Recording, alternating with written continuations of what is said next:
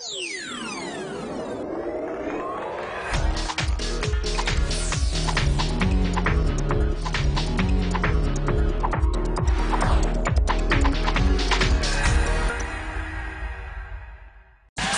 老师，你是不是好棒，好棒，好棒？我现在看着你们俩都有暴力冲动，真的好难圆回来啊！实在是应该五雷轰顶。通过计算机竞赛保送北大，有点像观赏型的选手，有点像一个野马。现在人生就像卫生纸，没事的时候少扯。我就是为了人间不幸才出生的呀。那我是中老年妇女之友，请给默默和响哥带好哦。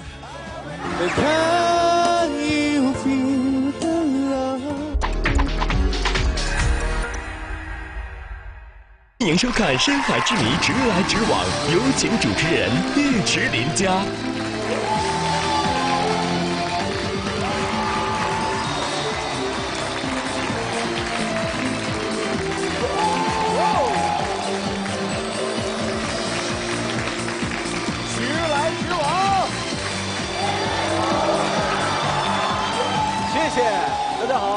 看中国教育电视台一频道，这里是《深海之谜》，直来直往，我是尉迟林佳。不要紧张，不要换台，OK？你没有看错，这里是直来直往，我也不是理想。今天来到这儿呢，是响哥给了我一个机会，到这里体验一下究竟求职这个过程是怎样的残酷。再次感谢现场所有到来的观众朋友们，各位请坐，谢谢。在这里还要欢迎十八位达人。首先要特别欢迎一下跟我同样是首次出现在这个舞台之上的十二号普天带的 CEO 吴海生先生，大家好。还有呢是十五号北京英爵文化发展有限公司董事长文雅女士，欢迎。另外还有两位，呃，这两位呢其实算是老同志了，但是换了新身份，有了新工作。一位是四号优曼生活网创始人韩毅先生，还有五号风行网副总裁蒋北奇先生，欢迎。在这里还要欢迎一个特别的这个节目中的调剂元素，Mr. Job，雷鸣老师。好，那接下来的时间呢，我们先了解一下直来直往的求职规则，请看。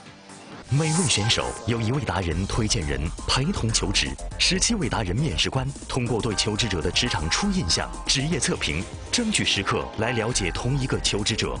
在此期间，达人随时进行表态，亮灯表示支持，灭灯表示不支持。求职过程中，十七位达人可随时抢得爆灯权利，为求职者提供工作机会。如果双方达成协议，则求职成功；否则，求职继续。最终，求职者所获灯数超过九盏及九盏以上，求职者有权利选择场上十七家企业中的任意一家，获得该企业的试用机会，求职成功。如果不足九盏，则求职失败。首先来关注一下第一位求职者，看看他选择的推荐人是谁。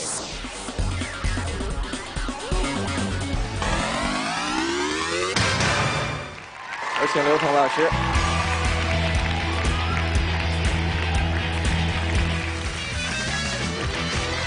今天推荐的这个第一个女孩啊，就是不矫情、不做作，她有点像这种这个原生的高岭土。你必须要洗净它的沙石之后，得到净泥，你才能够制造出非常好的景德镇的上好瓷器。所以我觉得啊，这个姑娘挺好的，适合于呢各位老炮们。比方说，什么夏朝阳啊、谭亚东啊，反正各位老炮们呢，我觉得好好调教调教，这个女孩一定会非常的棒。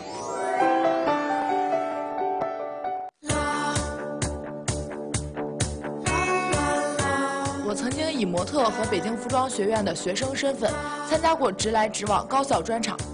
Look，这个没露脸的就是我。我是个与众不同的女孩，最怕的事就是和别人用一样的东西。天天天，这这好看，这好看，这销量挺不错的，就这个。哎，销量好有什么用啊？满北京城三千多人给你穿一样衣服，那撞衫多容易啊！这种的销量为零，撞衫都不容易。Oh no！哎，iPhone 六啥时候出呀？用 iPhone 六干嘛呀？满大街都是。看我的酷派，绝对不带重样。我是一个心直口快的人。俗话说，枪打出头鸟，我就是那只被打的鸟。我曾经当了两年班长，还因为心直口快的毛病把老师给得罪了。我爱路跑、骑行、玩滑板，因为这些让我和其他女生相比看起来更与众不同。身在北服不潮怎么能行？我敢做最潮、最先锋的挑战。今天要做的是冰桶挑战。如果我求职成功，我将会将我第一个月的工资捐给 ALS 渐冻症患者。我现在点名尉迟欧巴，你敢来挑战吗？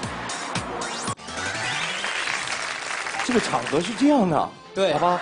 我们我们先把这个女孩请出来，有请一号求职者夏凡。Thank you.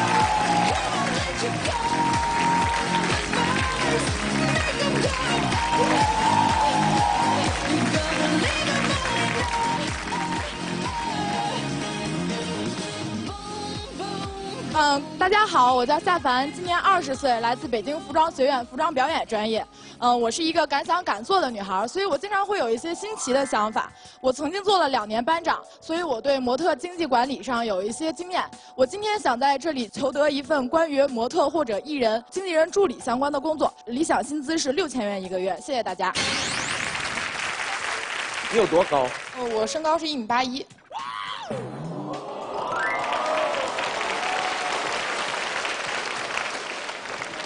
他必须说出来，这样才会显得我不是特别特别的矮，好吧？啊，呃，他的名字特别好，叫下凡。对。夏凡，什么神仙下凡啊，什么？就关键是哪儿着地的问题，对吧？如果让你选的话，你希望你自己之前是哪个神仙？有善财的，有送子的，反正，都有。国产的吗？非得？呃，哎，洋人的也行。进口的也行啊，进口的？也行。丘比特。送爱的，那你是因为个人的生活比较缺爱呀、还是怎么样？不是，我其实不太好意思说，我生活了二十年还没处过对象。至今没有交往过男朋友，你把这样的人推给老炮，你居心何在你？我真的好难圆回来啊！刚才我看你啊，来了就挑事儿，因为你算是直来直往的老人儿，第二次来。对我第一次来你就让我冰桶挑战是吗？嗯，对。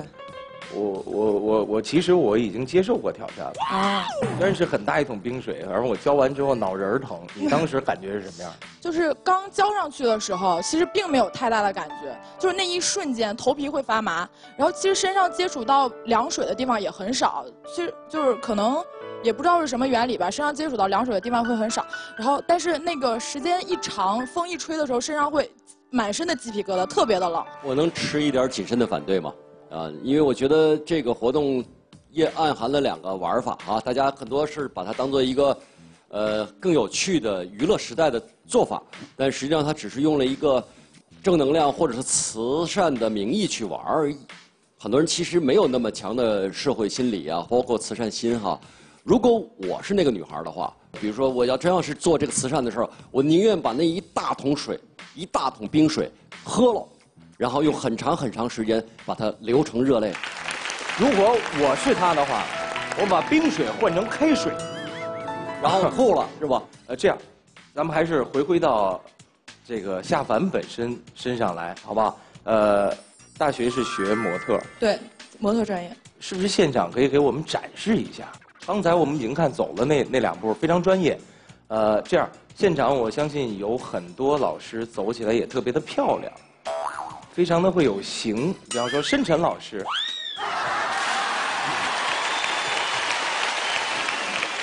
申晨老师是否愿意参加这一个模特走秀挑战？如果拒绝的话，请捐一百美金给 ALS。如果你参加的话，可以再圈儿三个好友。呃，我其实我一直认为我的这个身材是非常适合去走秀的，对。是吗？来，申晨老师，请。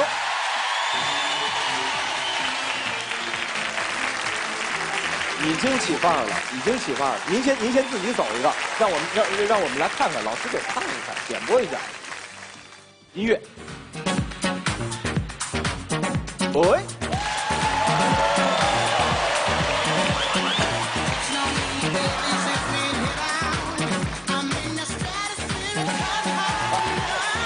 好，这样，夏凡，你先给给我们说一说，因为我们普通人不知道走秀有什么重点，有一个简单速成法没有？就是简单的速成法，就是你跟着节拍，呃，想怎么走怎么走，走的越起范儿越好，就自信。首先提气儿，自信就行，一直大步的往前走就可以了。那想个什么事儿？不用想，就是听着音乐，放空。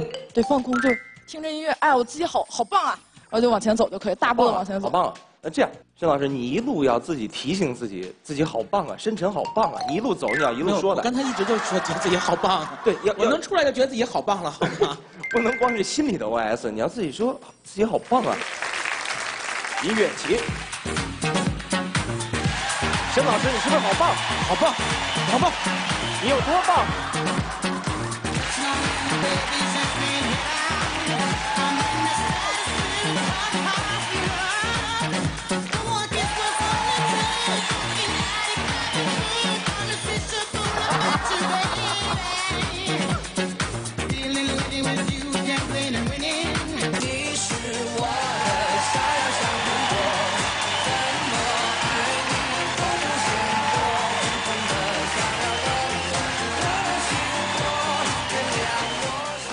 感受到了音响师纯纯的恶意啊！怎么老怎么成小苹果了？好，掌声给申晨老师。哎，好棒，好棒！哟，一些强烈的、强烈的反应啊！曹海东，呃，夏凡在这儿，是这样啊。刚才我看了你们俩的这个走秀啊，给我的第一个感觉就是一个日本的黑社会老大带着他的女人，对吧？对，呃，很好啊。刚才这个环节，我觉得你做的很好，很大方，表现的都很好。谢谢。但是呢，我其实想回到你求职这件事儿本身，其实我有点替你担心，因为你求职的方向其实是想做一个经纪人嘛。对。目前先是做经纪人助理，未来是要做经纪人的，对吧？啊，是的。那经纪人有一个很重要、很重要的，他的核核心素质是什么？就是保我告诉你，第一，呃，要有很好的资源。第二，要有很强的沟通能力。但你在小片里刚才提到的一点，就是说你经常讲话是很直来直去的，而且为此得罪过很多人。所以我特别担心你在这个职场上，就是职场的说话之道这方面，你会不会有问题？你能不能告诉我，你究竟是因为什么事儿跟老师发生的冲撞？呃，是这样的，当时是呃最后一节课，然后我们交作业，然后我的作业上面写了很多，就是同学反映给我。关于现在我们呃那个系里边一些问题，然后我跟老师说的时候，老师就说这些是我呃在解决个人恩怨，发泄个人情绪，然后我就当所有同学面跟问同学们说这些是不是你们跟我说的，然后就没有人举手说这承认说这是他们曾经说过的话，所以就因为这件事儿一怒之下就得罪了老师，也不当班长了。所以夏凡，这是我担心你现在要求职的这个方向，你性格里面与他不匹配的地方，就你你性格里面那种东北女孩的那个执拗和直爽。是会影响到你的。其实我一点儿不讨厌他的心直口快。我觉得一个年轻的孩子，如果真的是城府很深、心机很重，讲话在那儿永远在算计，反倒我不喜欢。但你的问题不出在心直口快上，你的问题出在你不用脑，你不你你不学会思考问题。你是一个不错的，在生活当中我会喜欢的女孩，但是在职场当中，在公司当中，你有可能会坏事儿。其实我听夏凡说的，就是感觉他的上传下达都是直着给。下面人说什么就直接给上面，上面人说什么直接就甩给下边，所以我担心的不是他将来在职场会遇到什么问题，这挫折多了他可以再调整。我担心的是他将来婆媳关系怎么处理。所以没找到对象。啊，是这吓跑的。这个这个我我得拆一下这个推荐人刘同的台了，他说话有点不给人家留面子。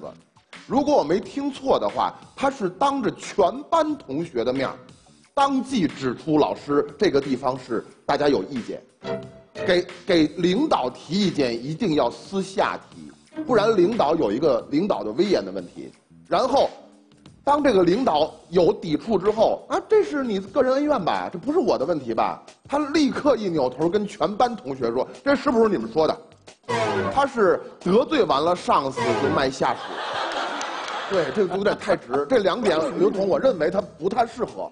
梁老师是这样的，就是我觉得吧，我现在看着你们俩都有暴力冲动，实在是应该五雷轰顶。通过计算机竞赛保送北大，有点像观赏型的选手，你有点像一个野马。现在人生就像卫生纸，没事的时候少扯。我就是为了人间不幸才出生的。我是中老年妇女之友，请给默默和响哥带好哦。刘老师是这样的，就是我觉得吧，你知道为什么有的人哈，有的人的错误犯了一次之后，然后会连续犯一辈子，但是有些人的错误犯了一次之后，以后就会避免，是因为他会学习到一些经验了。我们来，我们来听听，我们来听听你的搭档。呃，我来大概说一下刚才这个小矛盾哈，这个矛盾其实来自于特别简单的一个方面，就是很多大学生在没毕业之前都会有这个问题，叫做不知道用同理心去看别人，而且刚才你也应该站在我的心上去想一想。你刚才您给我一点鼓励，然后再给我一点真正的实用的建议，怎么去走？这个就是同理心。谢谢老师。呃，在这儿我想先说两句，因为我们要了解他的本身的所处的环境。他是在北京服装学院，呃，这样的环境里面，他的班里面都是男模、女模，一个个的都是一米八起，个顶个的大长腿，长得漂亮，所以每个人都有一个特点，叫做自恋。所以，想给如此多自恋的优秀的男孩女孩凝聚起来，并且管理他们，是不容易的。当然，他本身作为其中之一，也会有这个特点。但是，我相信他将来在进入了职场之后，走进了另外一个环境之后，一定会有所改观。我们再给夏凡一次机会，看看职业测评他的成绩怎么样，好吗？请看一段视频。咱们休息两分钟，那大家散场啊。嗯。美女，美女，美女。来来，照相吧。哇，行。看你最漂亮了。你干嘛呢你？怎么了？干嘛呢？干嘛呢？你谁呀？你谁呀？怎么了？怎么了？怎么了？臭流氓啊！你还臭流氓？老流氓啊！你臭流氓！你个老流氓！哎爸，干嘛呢你？打着你呀！如果你是这个模特公司的经纪人。模特休息期间发生视频中的冲突事件，你会怎么处理？我先问你一下，你出去演出的时候有碰到过这种咸猪手？有有，我作为模特的时候，我是上去一巴掌就给他扇过去的那种类型。你继续啊。你作为经纪人会怎样？呃，如果这次我作为经纪人的话，我首先我会叫保安过来，嗯，调查视频，然后证实这件事情是真的，并把并让保安把这个咸猪手男给移送出去。然后第二的话，我会让附近的媒体让他们不会去把这个事情泄露出去，因为不利于我们公司模特的形象。第三的话，我会去找这个车的客户方，呃，让他们给这位模特加钱。加每个每天加到两百到五百块钱左右。最后我会告诉这个模特的父亲说：“你女儿是一个模特，这些事她一定会经历到，请你不要太把这件事太放在心上，让她女让你的女儿自己处理。”停停，哎，哎，欺人！夏凡，啊，我想说是这样，你的这个回答真的这个就像一颗雷一样扔在我们所有达人的身边了。因为我们刚刚做完上海的车展，帮一个国际品牌。如果有模特的经纪人跟我们在中间提要给后面的模特每天要加薪资的话，我肯定不会用他的。所以，如果给你的刚才的回答打个分数的话，对不起，可能是不及格。呃，是这样哈，已然结果对已经如此。我想说，夏凡是这样的，因为之前我跟夏凡在沟通当中，我问他两个问题，他说他要对。顾客毕恭毕敬，我说不是叫对客户毕恭毕敬，那叫不卑不亢。他说模特呢就是我们赚钱的工具，我说那不是你们赚钱的工具，那是创造经济效益。你知道为什么下凡？其实有很多女孩像你一样长得漂亮，性格挺好，但是为什么你们用词永远不精准？呃，我要说句比较重的话，只有一点：多读书，多读书你才能够用更精准的词语去形容你想表达的意思，而不会让别人产生误会，好不好？加油！谢谢老师。今天你的求职已经失败了，我觉得这段路呢，我们请你的老搭档申晨先生陪你走过去好吗？我一个人和你分享，少一点难，自己健康。我们都是笨小孩但我觉得可能值也不是。太坏的事儿，毕竟他还没有到大三，只是大二的学生。我相信社会可以把他很多不好的地方修整得更好。来，赶紧看看下一位呃求职者选的谁做推荐人。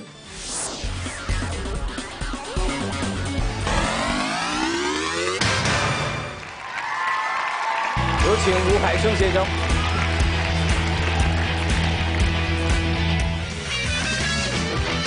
呃，今天我隆重推荐我一个师弟，然后呢，我推荐他有三个理由。第一个理由呢，他是曾经的全国冠军，他高中的时候就获得全国信息奥赛冠军，然后呢，直接保送到北大的心理系。第二点呢，他是当下的这个文理全才，呃，他不仅文科特别好，理科也特别棒。然后第三点呢，呃，我认为只要他敢想，他以后就一定能成为一个非常优秀的一个企业家。手机市场上流传着这样一句话：普通青年用 iPhone，泛二青年用三星，文艺青年用索尼。其实这种现象的背后是有科学依据的。比如一个手机的桌面放多少个图标最合适？图标的边角需要多少弧度看起来最舒服？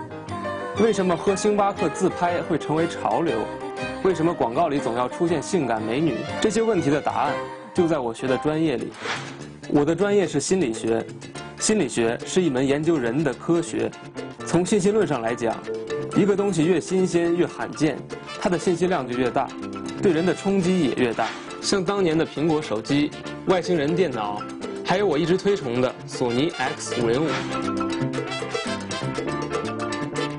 人的好奇心是一个巨大的财富来源，而我希望通过所学的心理学知识和我的经验。分析出当下人们心理的图谱，找到能够爆发财富的起点。未来我想做市场的开拓者，而不是跟在潮流后面吃别人剩下的东西。好，让我们有请二号求职者林枭雄。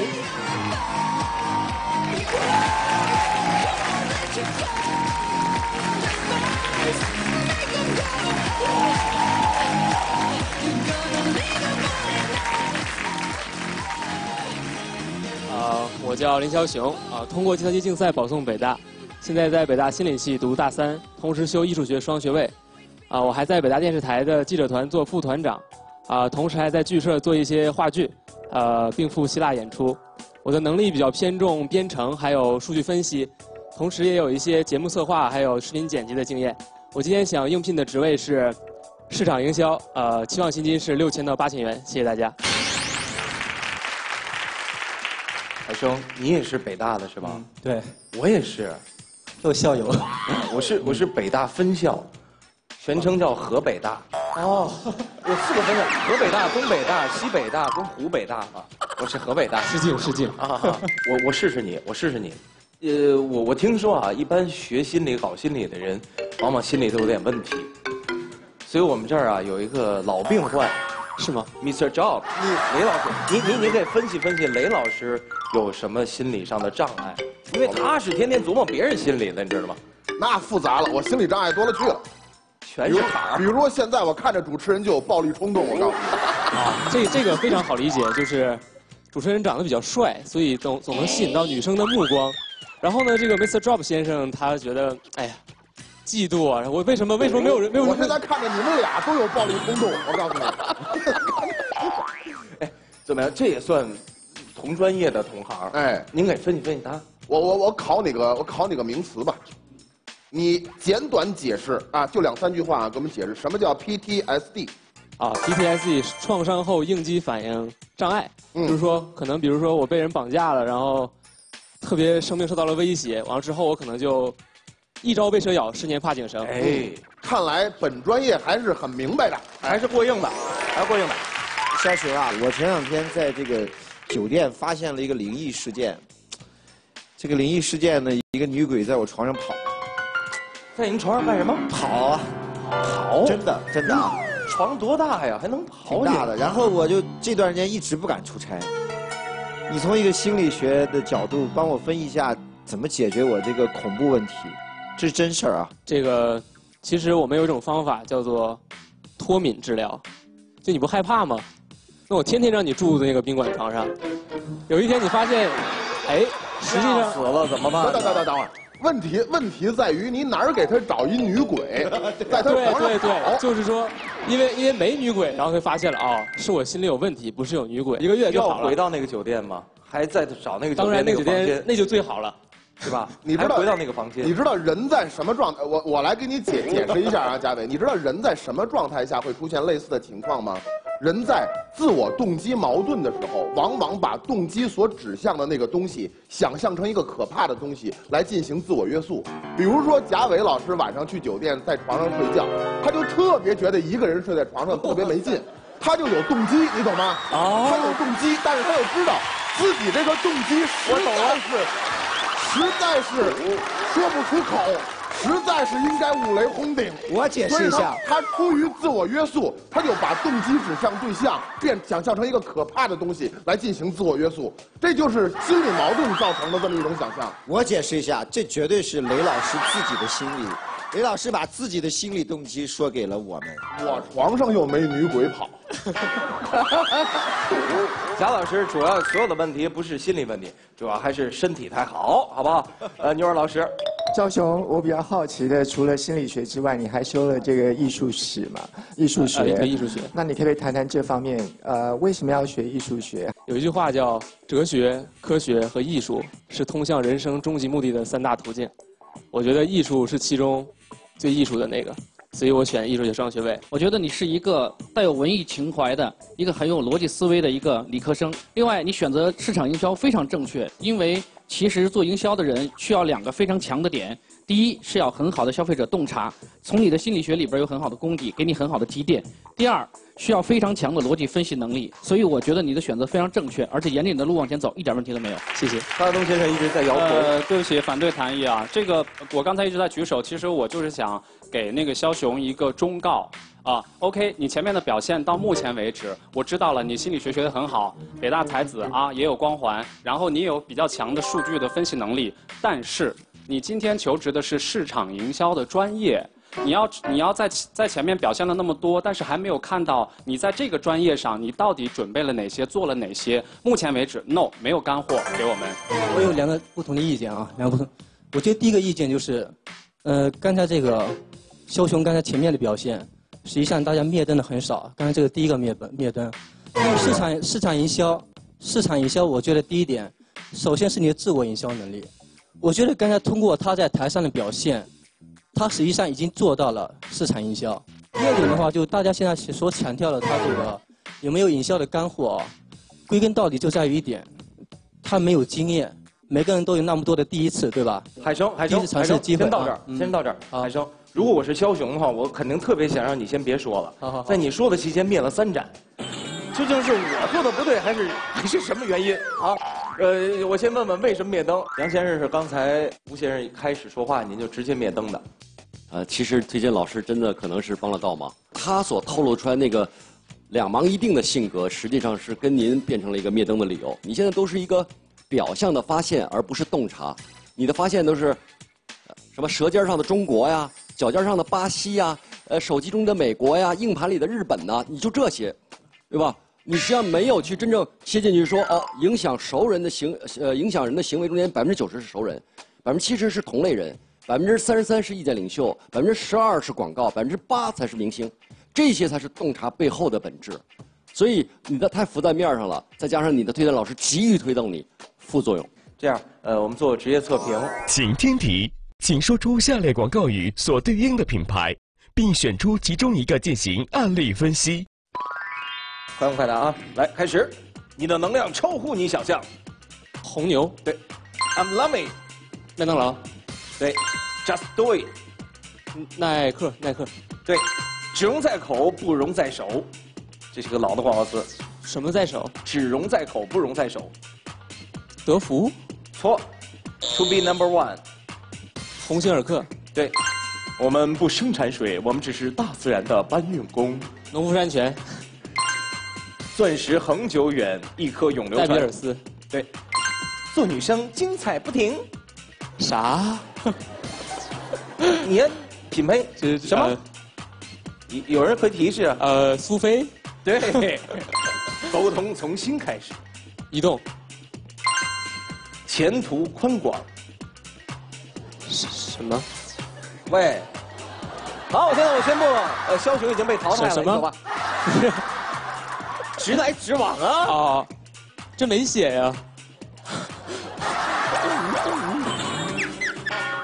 对对，甲方研究不不彻底，基本基本都答对啊，基本都答对。你随便挑一个 slogan，挑一个出来特别能打动你的，告诉我你觉得哪儿打动你？我觉得 I'm loving it 比较好，就是它是，我记得零三年的时候，王力宏有一首歌，就是给他做广告的歌，但我现在大家都记得这个歌，都记得这个这个词叫 I'm loving it。我觉得它首先它是一个流行文化的东西，它非常迎合麦当劳这个东西，它没有说放个歌剧，而麦当劳就是快餐嘛，而且 I'm loving it 这个词本身它就有一种，呃，给你一种快乐的感觉。呃，在心理学上有有一个东西叫做认知失调，就是说，当我说一个事儿的时候，我说 I'm loving it，我就会去，呃，我就会反过来影响我自己，我就真的认为自己喜欢这个东西了。它种种东西综合在一起，就觉得，呃，麦当劳的营销还是很成功的。点评上来讲的话，我觉得你挺机灵的，也就是说，其实你的思维很活跃，就你反应很快，但是反应快不一定反应的对。但是你的记忆力好，你看你他能记住，他至少能马上他就，因为他别人可能看十遍他能记住，他可能听三遍到四遍他就记智商摆在这儿他是属于容易被到达的，我们讲 reach 的那些那些客户。但是问题是在于你了解的比较肤浅，也就是说你没有真的进去。呃，这样的，枭雄，就是现在你给我的感觉就真的是有点怪怪的。就当然，我觉得你所有的表现都挺好，但是你这种好呢，又不是我们可以看到身边的那种好。这就好像我们是两个世界，有点像观赏型的选手，你知道吗？就是你是一幅特别好的山水画，但是我们如果真把你弄过来，只能收藏，没有一个特别合适的地方拿出来展览。所以我觉得，就像刚才谭毅老师讲的一样，你很聪明、很机灵，你的逻辑性也非常不错，但怎么样进入到我们这个世界当中来？你必须要进入到一个，呃，思维方式跟你比较接近的公司去工作，你比较另类。我能看得出来，你的正常的思维方式跟其他的那些，呃，上来直接学营销的孩子们的营销方式不太一样。可能因为你学你做计算机啊，还是你学心理学，可能你需要一个那样的有跳脱思维的老板，然后呢来带动你，而且你需要一个非常成熟的团队来约束你，有点像一个野马。现在，你可以跑得很快，但是跑的方向对不对，那是一回事儿。雷老师，一开始可以说他的出场气势如虹，对，通过自己的高智商这种这种表达，而且完全不怯场。但是到后期的时候，何为对他的营销方向是非常非常的不满意。对，那个现在有两个形容词，嗯，有两个形容词，一个叫聪明，一个叫专业。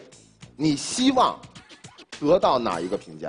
呃，说实话，专业。对，那你现在用这两个形容词当中之一评价自己，可能聪明有余，专业不足。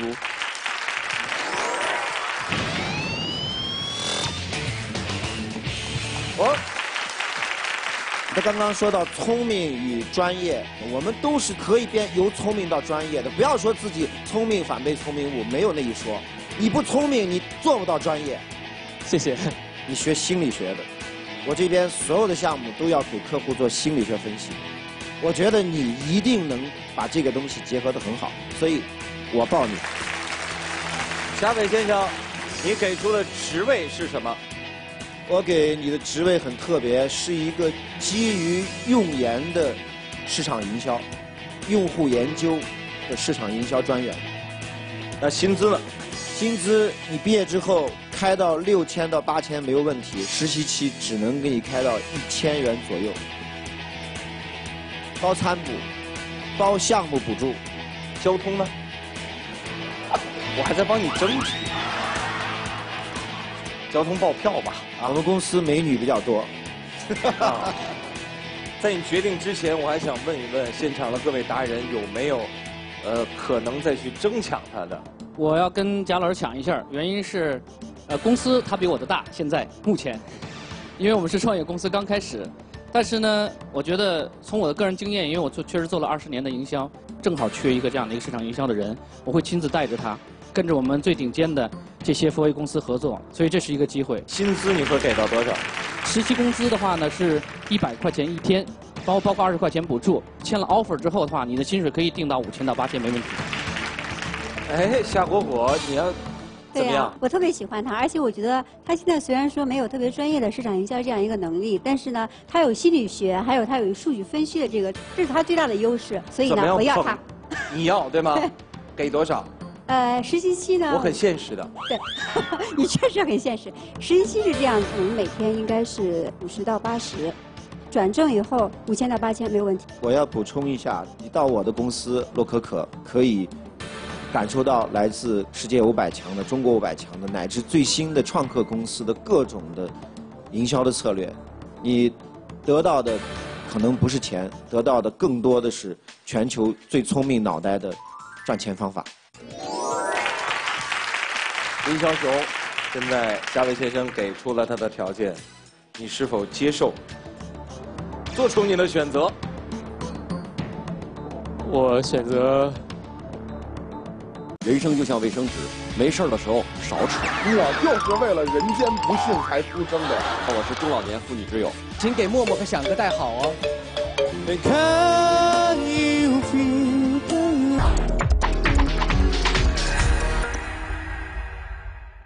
林小熊，现在嘉伟先生给出了他的条件，你是否接受？做出你的选择。我选择放弃，不好意思。接下来的时间，我们要请场上各位表态了。如果说根据我们的规则，如果说留下的灯有九盏或者九盏以上。那么他就拥有从十七家企业里面任选的权利。如果低于九盏的话，那么很抱歉，肖雄，你今天的求职就是失败的。那么接下来，请各位达人做出选择。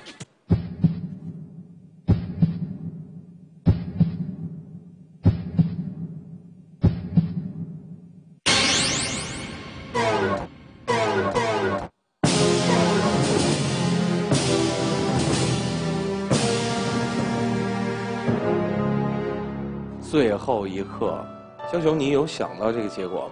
呃，想过。用刘同的书名来跟你讲，你的你的孤独虽败犹荣。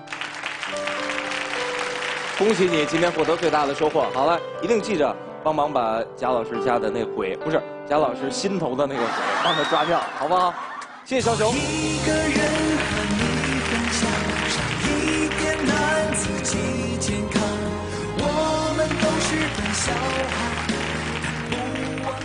好吧，马上来看看第三位求职者，他选择推荐人是谁？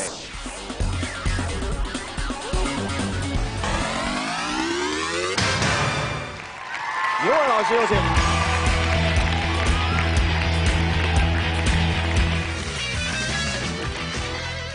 今天其实我觉得非常的荣幸，也非常的骄傲，要推荐这一位苏新叶，她是一位来自东北的女孩那他给我的第一印象就是春风拂面啊！你一看到他，你就会不知不觉的喜欢这个人，完全没有压力。他本身的这个专业职能也非常的好，他擅长英文以及韩文，同时他的这个电脑的专业技术也非常好。我们来透过短片认识他。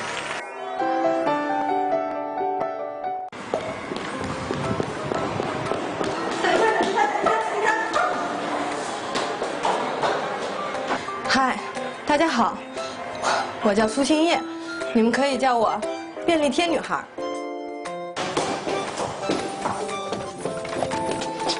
燕姐，这是你的半糖拿铁。谢谢亲，亲爱的，我还有快递，你能帮我拿一下吗？好的，好的。少糖脱脂牛奶。哦，谢谢亲爱的，能帮我再付一个东西吗？谢谢。你的身边一定会有像我一样的人，明明不是小妹，却要帮大家跑腿；明明自己很忙，却从来不敢拒绝别人的要求。要做便利贴女孩，得符合以下标准：第一，不能太美，也不能太丑，长相平凡的不能再平凡；第二，不能太胖，也不能太瘦，身材普通的不能再普通；第三，性格温柔没脾气，永远一张笑呵呵的脸，像我这样。便利贴女孩很方便，呼之即来，挥之即去，不占空间，永远安静。我做着最平凡的岗位。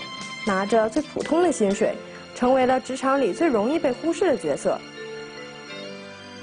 今天我不想再做便利贴女孩了，我要一个新的开始。好，马上有请三号求职者苏星叶。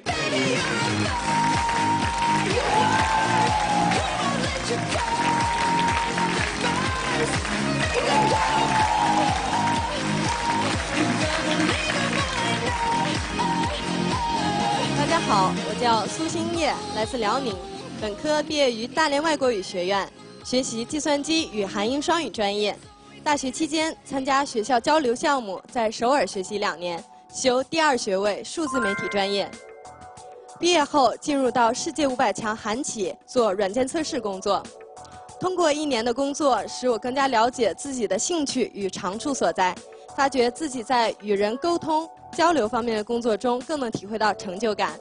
今天来到直来直往寻找一份公关的工作，期望薪资六千元，希望的工作地点在北京或者上海。谢谢大家。律师哥好。哎，你好，你好，你好，哎，这一叫我就，这是拿的。这是我给各位拿的礼物，这是我自己设计的一个贺卡。然后给每位达人都送上了几句话，给尉迟哥、雷鸣老师的也有。你给我就行了，给他们干什么？哎，还写了电话跟微信，给他们没有吧？没有留吧？不好意思，都有啊。不了，哦，还还写了一段话。嗯，你看。您可以读一下。写的是这样：尉迟哥，从初中我就很喜欢您。到时我之后找男朋友，都是按照你们的标准找呢。至今单身，你是不是应该负点责任呢？私聊啊，私聊啊，我有你电话，好不好？这样，咱咱咱们给老师们都把贺卡送上，好吧？嗯，好好。聊天啊，真的是。哎，这样，我们听听。听听他究竟给给每位达人都写了什么，好吧？春晨老师，我特别喜欢刘同，特别特别喜欢刘同，我就是特别喜欢刘同。这假的假的，不是这样。照着念。好吧。功夫熊猫气场十足，功力雄厚，请大师指点。啊，我好我好喜欢刘同。我申请，我申请，我必须要先念一遍。啊，您先念。因为我看完了之后是思潮澎湃，真的。啊，真的。他上来说：“尊敬的雷鸣老师，职场失意找雷鸣老师，情场失意找雷鸣老师。有您在，我不怕。我总结出两点：第一，这姑娘认为自己这辈子运气不会太好，因为有我在，她才不怕呢。第二点，我总结出来，我就是为了人间不幸才出生的呀。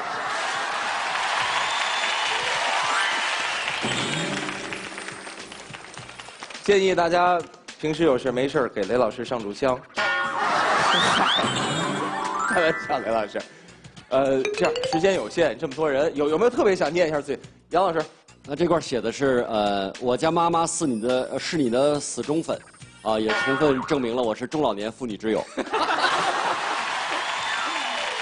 童哥，你那压最后，你那，你那压最后，我听啊，小苏妹妹。那个，我我真的无法抑制我对你的喜欢之情啊！就是因为我觉得你首先是一个非常适合做公关的人。你今天送这个贺卡，其实就是一个非常好的自我营销和公关。而且你真的做了很多功课，比如说你知道我的英文名是什么，这个我很惊讶。然后你还在提善意的提醒我，再忙也不要忘了相亲，就证明你对每个人的情况都很了解。真的给你点个赞啊！嗯，谢谢老师。呃，星夜是这样的哈，我不否认这个亚东说你很适合做公关，但是你知道刚才几位老师讲过之后，我个人觉得你写的真的是太公关了。你看给我写的最后就是。嫉妒吗？对了，请给默默和响哥带好哦。前面好像他省了句话。前面是重点。前面他省了句话，他没跟我们说。前面是重点。我们都念出来了，他就不能把那句话省了。前面不是一句话，前面是很长一段。他得跟我们看见那个字。前头念不念？不重要。肯定很重要。不 不重，不重要。念念。真的不重要。念必须得看这个。我来帮那个刘彤老师念一下他前面，刀子嘴豆腐心的童童哥。哎，不不不不不，亚东念的不对，是彤彤。彤彤彤哥，哎，对了，每次看到你的书都是一气呵成，期待更多作品哦。呃，坦白讲，童哥，亚亚东，你别念了，你别念了，念了伤感情。有人有人要抢饭了。尊敬的刘彤老师，刀子嘴豆腐心的彤彤哥，每次看你的书。都是一气呵成，期待更多的作品哦。哇哦！坦白讲，童哥哭点太低了啦。对了，给默默和响哥带好哦。带字儿还错了，就因为我看他的这种，这种，首先愿意帮别人做事，另外把每个人都研究的尽可能的透。我不知道适不适合做公关，我不懂，适合做媳妇儿，有这感觉吧？杨先生，你要抢亲吗？你不是你说的是对的啊，你洞察力真的是很对，而且呢，你不要排除你原来便利贴的这个女性的这个特点，这种特点的时候在公关上有巨大的功能，因为它能把平凡的事儿做得不平凡的好，所以你有一个很大的亲和力，能够让别人开始信任你，这是非常有机会的。哎，星爷是这样哈。就说公关的概念，其实这个词儿很大，这范围很广。就公关下面其实有好多好多细分的职位。那这里边有一个很重要的点，也就是说你的写作能力怎么样？你觉得你的文案能力怎么样？你能不能写出很漂亮的东西来？这点我要说一下，刚才所有的老师不是都收到了这个星爷的卡片了吗？而且每一张卡片都是他亲笔的文案，所以这方面呢，我觉得文案不在乎它的词藻多么的优美，而是能不能感动人。在这里，我们还有职业测评，我们看看题目是什么样。请听题：如果你是某款口香糖品牌的公关经理，在产品发布会上，你请来的艺人突然被警察带走，此时背板上有你的品牌 logo，你的老总要求这篇报道不可以发出去，请问你该如何处理？这个题，我个人讲，反正你现在抛给我，我就疯了。这怎怎么搞呢？我也你把我也带走吧，好吗？呃，我们给你一点时间思考一下，这样我们请请工作人员拿一个声音声音大的耳机给他戴上，让自己戴上。我们在里边准备了一些温柔的轻音乐，都是凤凰传奇的歌，我们可以听一下。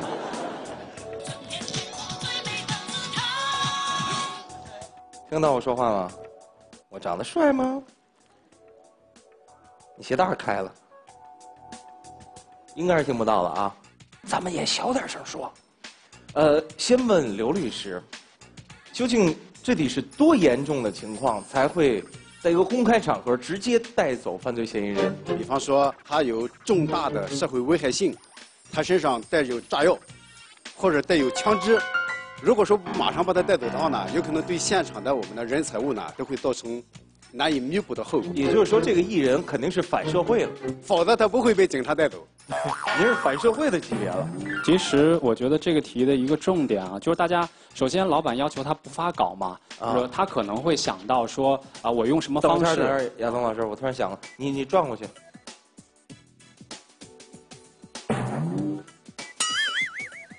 哎，好好，万一看口型呢？是不是？对，读唇呢？从常规上来讲呢，可能他会立刻想到，我要通过平时好的媒体关系，让这些媒体真的不把这个稿发出去。但是其实这个题啊，最重要的重要的一点就是他能不能体会掉这个东西是赌不了的，你只能输。对呀，这对很显然很难。这个娱乐稿子不发，法制日报也得发呀。对，其实他现在的点是在于这个稿子发了以后，我们应该怎么办？对，不知道他能不能想到这点。呃，刚才亚东说的特别对，你保证不发没可能。但这里边呢，有一个最关键的动作，他必须要先说服他的老板，要让他老板非常清楚那个现实状况。这个稿子是不发是不可能的，让他老板先接受这个事实。嗯，这个也是内部公关，也是一个重要的问题。长知识啊，袁先生。假如这口香糖是对吧？玉池牌口香糖。嗯。实际上呢，在老板说不让发的时候，尽量去跟所有媒体的关系搞好这个圈层，尽量不出现负面。对吧？减少这个负面最低，同时大量的准备，对吧？人生就像口香糖，你永远不知道哪一个是重口味。我觉得已经可以了。这个我当年十年前参加比赛的时候戴过这种重噪音的耳机，真的想不了事儿，就就心脏都快跳出来。好，哎呀，给我们唱一首吧，先。好嗨呀，这歌。好嗨。现在问题摆在你的面前了，你如何处理？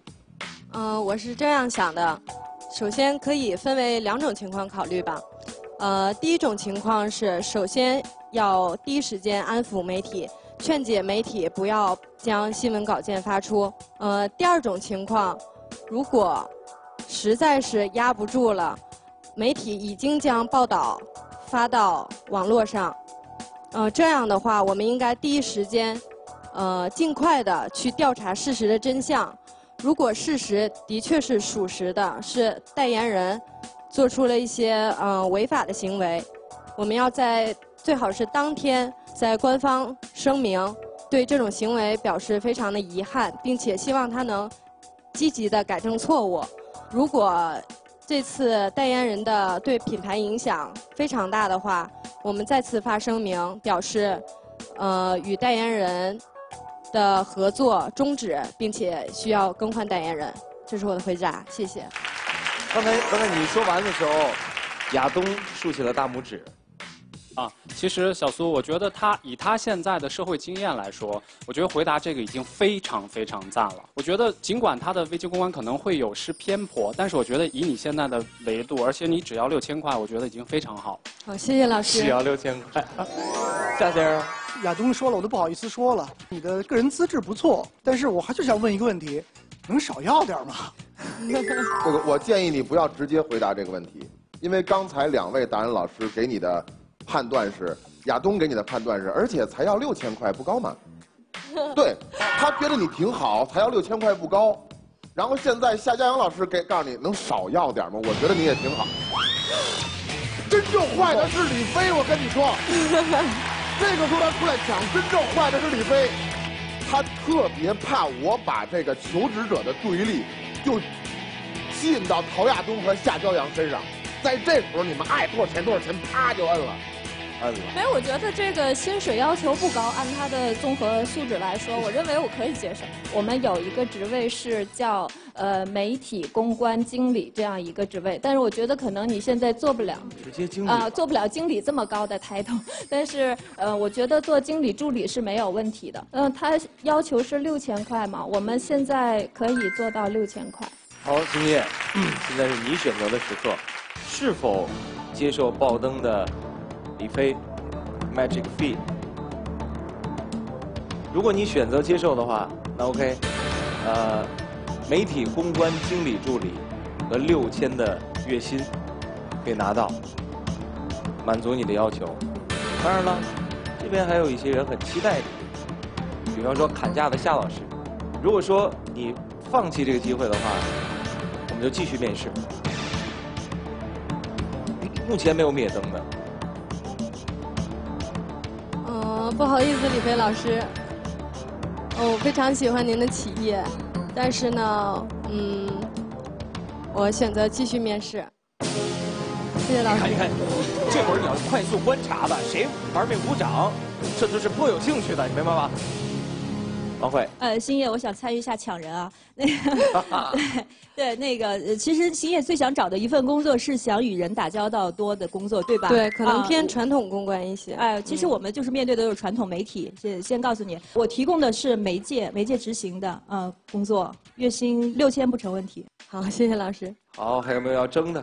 贾先生，也是一个媒体专员，呃，工资六千。哎，其实职场遇到一个很好的导师不容易。我因为我也是女性嘛，我也是从你这个年龄一步一步走过来的。你一定要相信一个大姐姐会有一个丰富的经验给你。其实女性的导师，男性更合适。我觉得这这这这这里，有些话题是我觉得讲的。知心哥哥你知道吗？人家那边李飞六千块，人家也女性。蒋先生多少？什么岗位？我们这边的话呢，呃，提供一个呢公关主管，不低于六千。韩总怎么样？给你的是一片专员，薪水差不多可以考虑到五千到六千。夏先生，来砍价的砍价王，砍价王。是这样啊，呃，因为我们是一家媒体公司，我能提供给你的一个岗位是在这样的一个大的团队当中的一个专员的职位。呃，我能给到的呢，其实也不会太低了啊，该讲六千多一点，可能基本五千块左右。杨总给什么？我给的岗位呢两个，呃，互动组啊、或者是文化组，这个我需要去看你的特质。至于费费用，先别跟我谈。你跟我谈的时候，你只要拿得出来的水平，那是比他们都高。你敢来，我就直接带，你。谢谢老师。那现在我们现在直接请场上的还亮着灯的十六位达人来决定是否留灯。如果留灯数超过九盏，那么你就可以任意选一家；如果低于九盏，对不起，面试失败，好吗？现在时间交给各位，请考虑一下。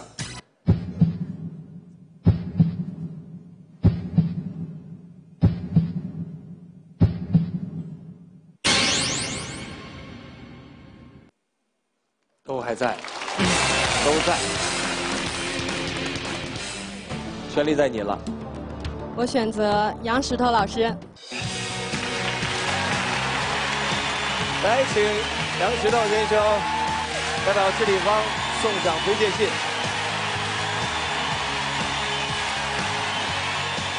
谢谢石头哥，来吧，高高兴兴的带着你的推荐信谢谢玉回去吧哥嘿嘿，不客气，谢谢。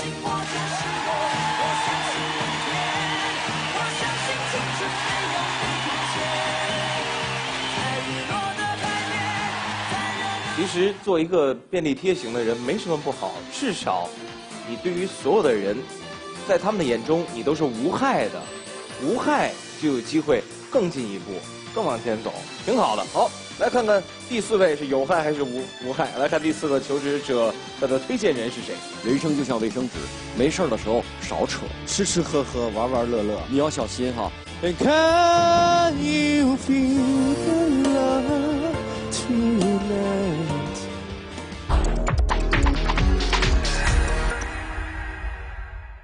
来看看第四位是有害还是无无害？来看第四个求职者他的推荐人是谁？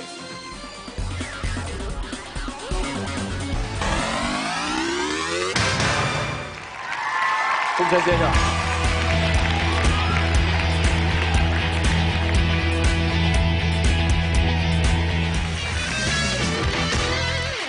其实呃，在面试的时候，我特别怕求职者说一句话，就是深沉，我的人脉非常的广，因为有很多年轻人不太知道什么是人脉。我曾经问过一个人，你的人脉广指的是什么？他说，我参加了很多的会议，换回来很多的名片，那些人的电话我都有，那个就叫做人脉。对不起，那叫名片，而不是人脉。今天我要推荐这位求职者，他也说他人脉关系很好。但是他没真的没有把名片当做人脉，而且把人脉还组织了起来，所以我觉得他的人脉关系是很实在的。我特别想给大家推荐他。其实，按照申晨老师的介绍，这个人似乎不应该来找工作。他有这么强的人脉，来看一下吧，究竟是为什么？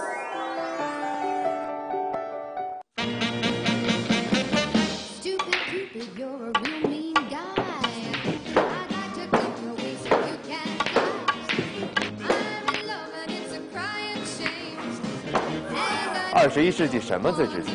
人才？不是，是资源。我跟朋友创办了一个名叫“海归海归”的协会，会员都是来自于世界各大名校的优质海归青年。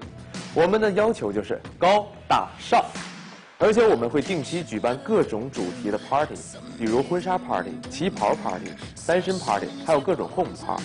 其实就是给各行业的海归搭建一个社交平台，从而达到资源共享的目的。作为组织策划者的我，需要做的就是整合这些资源，并且不断的拓展和延伸我们的服务范围。现在我的手上资源相对比较多，汇集了各大主流行业的精英。这些呢都是我的好朋友，关键时刻可真帮忙。说白了，无论我在哪里拉屎，都会有人给我送纸。谢了。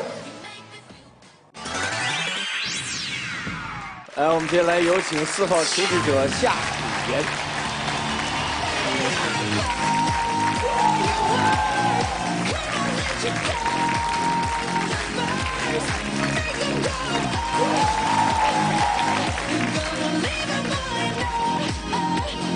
大家好，我叫夏楚言，今年二十五岁，毕业于大连艺术学院音乐剧专业。之前呢，有过一些舞台剧的演出经验，也做过幕后的工作。期间呢，跟朋友共同创建了一个名叫“海归海归”的协会，主要呢就是给海归搭建一个社交平台。今天我所要求得的岗位是总裁助理，目标薪金八千元，谢谢。声音还不错啊，看来是练过，好吗？现在你有没有本事变一卷手指出来？这个啊，这个在现场，不知道刚才我的自我介绍有没有现场的观众愿意帮助我一下？不是你人脉呢？你人脉呢？哎呦，有一套啊，有一套，有一套。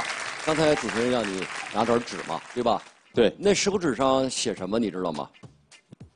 其实主持人已经告诉你，那纸上写着“人生就像卫生纸，没事儿的时候少扯”。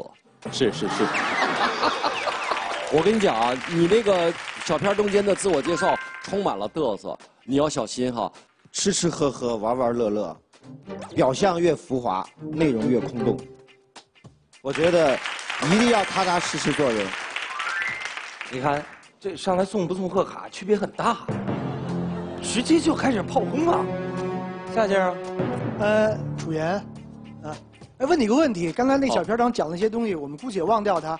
你认为总裁助理的工作职责是什么？总裁助理这个职位其实挺特别的，通过总裁的光芒，能够感受到助理的实质，也能感觉到总裁的高度。所以说我这个职位，我觉得就是在总裁身边，帮他打理身边包括公司的一些事儿。如果能做得好的话，就是能深入到他的生活的一些事情；如果做不好，只能是真不好公司的意思，你的回答恰恰说明了，你真的不知道总裁助理是干什么的，你明白我意思吗？我我觉得是这样的，那个楚言哈，你刚才回答的那个内容里面，多数是你想当一个大老板的秘书，你错误歪曲的理解了什么叫助理。你知道助理是什么级别吗？到了总裁助理的级别，公司至少是中高层以上的主管或者经理，非常重要的一个职位。你在一个没有任何经验的情况下，就靠点所谓的关系和觉得自己的人脉，你就想做一个总裁助理，是挺难的。那个，我来帮小夏说一句哈，因为我觉得可能作为一个呃社会新人哈，他可能对整个职场体系里边的这个 title 不是很了解，你可能要调整一下你的就职的就职的方向，比如说可以从呃这个这个经理助理啊这样一个这样一个态度开始做起来，我觉得可能更适合一点。我觉得现在目前可能最重要的问题不是职位的调整，是职业心态的调整。刚才你讲了一个特别要命的东西，你觉得说总裁助理就是呢，我就帮他预见，然后帮他怎么在他光环背后，我来帮他评很多的事儿。如果做得再好呢，我就能进入他的生活。就是那个不是总裁助理，或者甚那甚至都不是一个职场的正经的工作人员该干的事儿。你明白我意思吗？你得回到职场专业这件事儿上啊。呃，而且老夏，就是说，你其实现在还相信他有这个能力。从我来讲，我觉我觉得你就是这个能力都不具备。我不相信你能帮你的总裁去引荐他认为有意义的资源。你你说你是一个四海之内皆兄弟的这样有这样很多的朋友，我告诉你，四海之内皆兄弟，那就皆不是兄弟。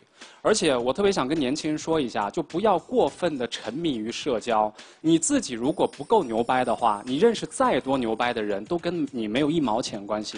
我现在把你送到长江商学院，不用交每个每年几十万万的学费，然后也不需要那么牛掰的引荐人给你。但是那些企业家愿意跟你玩吗？应该说楚岩也算长了一表人才啊！出来之后一个短片，就就就直接开始大家纷纷的炮轰，这样我们也给他一点机会为自己辩驳。究竟你希望能够去到一个企业里面做到什么样的工作？你能够给企业带来什么？我为什么想在短片当中突出这个海归这个资源呢？因为我觉得现在是一个社交网络二点零的时代，大家出来聚会，这是年轻人现在经常会选择的一种消遣业余时间的一种生活方式。所以说，我觉得这是可做的一个。可以长期发展的这么一一条路子，所以说我才会把这资源放在短片上。其实我个人的求职理念很简单，呃，我特别热衷于传媒行业。我今生我就这一生，我把我自己定位为一个传媒人，就是我会倾尽我的所有去做我热爱的传媒。呃，那个楚源是这样，就是如果你真的想做传媒的话，呃，我给你举个例子吧。我接下来呢要在中央一套要开一个节目真人秀，叫我爱妈妈。它是一个明星带自己的妈妈在一起待七十二个小时的这么一个节目。如果你来我的这个团队的话，你喜欢搞人脉，好，我问你，你怎么去邀约明星和他的妈妈呢？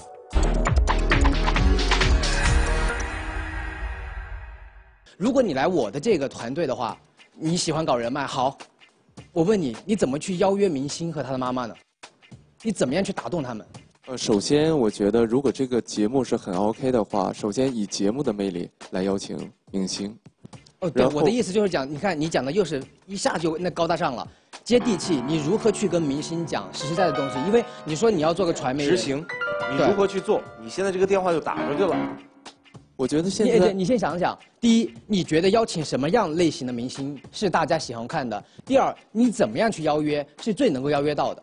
我觉得现在首先是真人秀的这种节目，现在来讲是非常多的。呃，比如说是传播父爱的，我觉得明星跟妈妈在一起认真回答问题，认真回答问题，不要再讲一圈儿无关的话。首先会是从孝心这个这个话题来劝说明星，因为这个之前也没有过，首先是之前没有过带着妈妈来参加真人秀的这类节目。楚言，我们不分析节目形态，这样，我现在其实是在帮你。如果你再讲一些真的跟求职无关的话，我担心他们会灭到鸠山以下。我希望你能够直接的去回答问题。那么选择艺人，你会选择什么类型的，对吧？那本身这个艺人他的家庭关系是怎么样的，这很重要，对吗？OK，我会选择之前做过公益大使，或者是非常有爱心做过公益方面的明星，从他们为出发点。只选这样的吗？还是有不一样？嗯、我觉得他们还是更符合一下，只选他们。要想一想明星的兴奋点和痛点。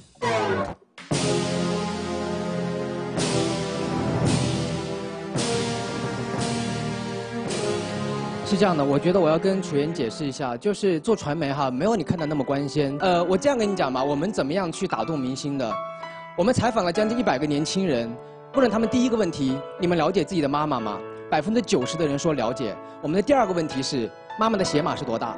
折了一半。第三个问题是妈妈的闺蜜三个名字，折了一半。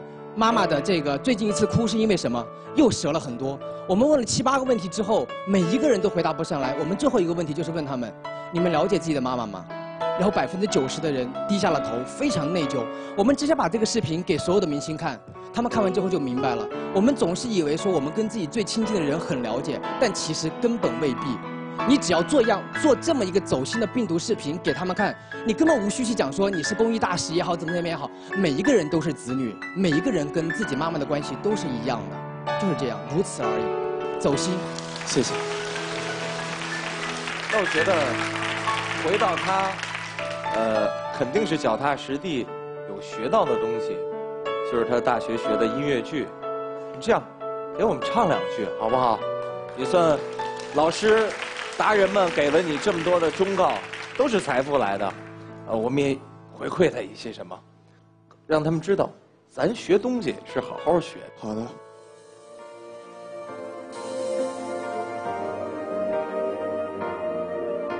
一首《基因爱无限》献给大家。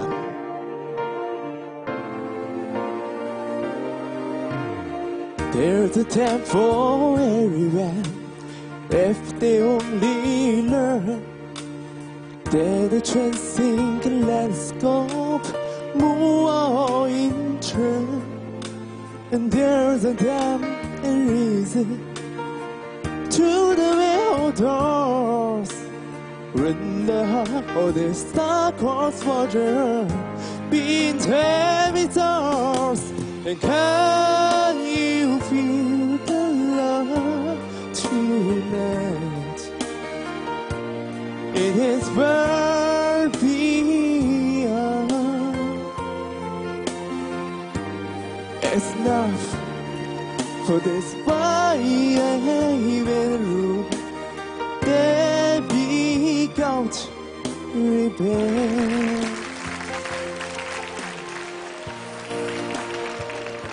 楚言，我觉得这包纸巾现在能派上用场了。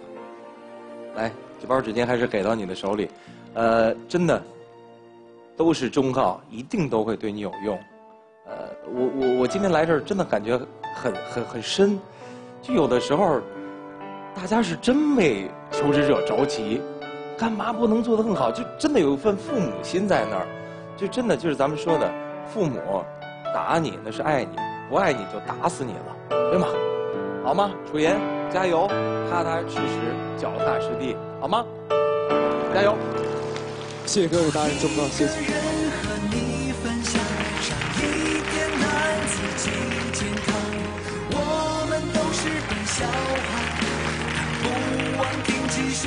我我第一次来直来直往录，呃，我的收获特别大，就真的我在听各位达人给求职者去讲的时候，我甚至觉得我自己在我职业道路上的方向也都会变得清晰，变得更加准确。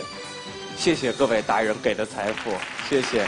在这里再次感谢十八位达人，感谢雷鸣老师。这里是本期《深海之谜》直来直往的全部内容，谢谢大家收看，下周见。我相信我就是我，我相信明天，我相